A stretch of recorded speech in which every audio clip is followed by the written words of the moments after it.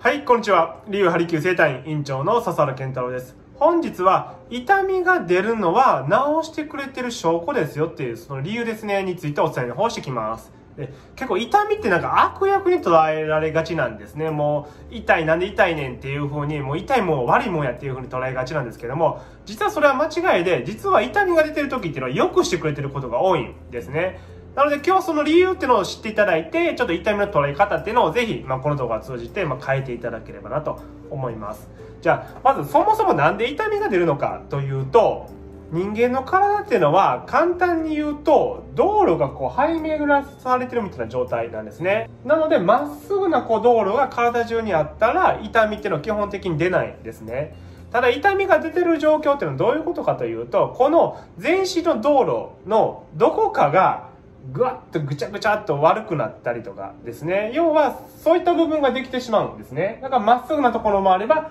こう、ぐわっとガチャガチャという道路がちょっと壊れてしまったような状況を作ってしまうんですね。で、この壊れる部分っていうのが、大体日常生活で作ってしまうんです。例えば、過度にその部分に負担をかけてしまったりとか、で、実際に日常生活で何もしない時でもこういうの作ってたりします。例えば座りっぱなしとかですね、変な歩き方をするとか、要は間違った使い方とか、日常生活で運動不足とか悪いことをするせいで、こういった、要は変な壊れてしまった道路っていうのを作ってしまうんですね。で、ここで血流っていうのも悪くなって、要は通れない道路みたいに、通りにくい道路みたいになってしまうんですね。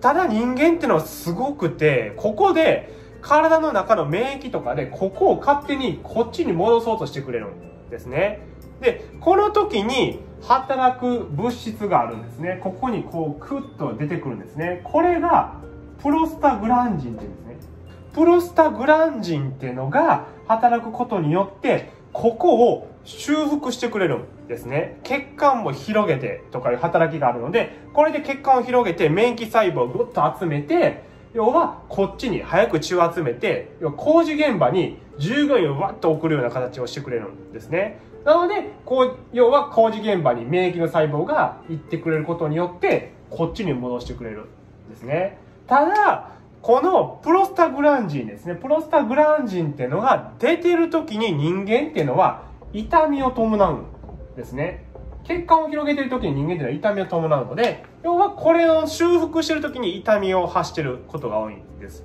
だから、ずっと治らん人っていうのは、この修復しようとしてる時に、自分で日常生活でまた負担をかけるから、いつまでも修復できないっていうケースが多いんですね。じゃあどうすべきなのかというと、この痛みが出てる時ですね。痛みが出てる時っていうのはプロスタグランジンっていうのが働いてる証拠なので、血管を広げて修復しようと、早免疫細胞を集めようとして治そうとしてる時なんですね。じゃあ、その時にこの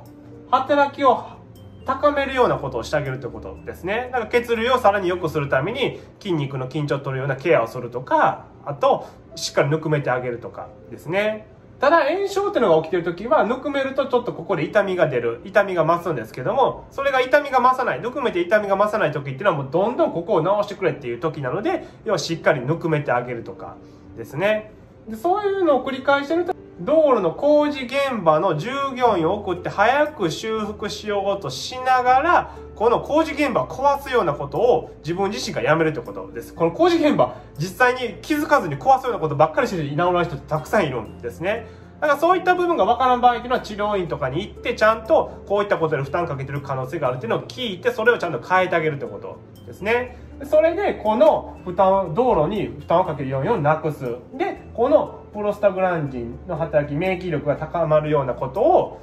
しっかりとやっていく。それが治療でもいいですし、ご自身のそういったケアとかでもいいですね。それで、早いことこっちに修復してあげるってことですね。で、ここであの、血管を広げるようなことをしたら一時的に痛み出ることってあるんですね。それが、ぬくめてひどくなる場合っていうのは炎症っていうのが起きてるので控えた方がいい。まあ、さっきもお伝えしましたけど、控えた方がいいんですね。ではなくて、ぬくめて楽やけども、結局痛い場合っていうのは、実はこの、働いてる時の痛みなので、だからぬくめて楽になる場合ですね。ぬくめて楽になる場合っていうのは、もうどんどんぬくめて、血流良くして早くここを修復した方がいいんですね。なので、もうこういった痛みが出てる時っていうのは、こういった働きがあるので、だから良くしようとしてる時なんですね。だから、痛みが出てるから悪いって捉えるんじゃなくて、ちゃんと治してくれてるんや。じゃあ自分自身もちゃんとそれを手助けするようなことをしてあげる。っていう風な捉え方をすると治りが早くなりますので、ぜひこういった痛みは悪役じゃなくて、ちゃんと自分自身の体を治してくれてるんですよってことをぜひ、まあ、この動画を通じて、まあ、知っていただければなと思います。では、この動画が参考になったという方は、グッドボタンを、あとチャンネル登録もお願いします。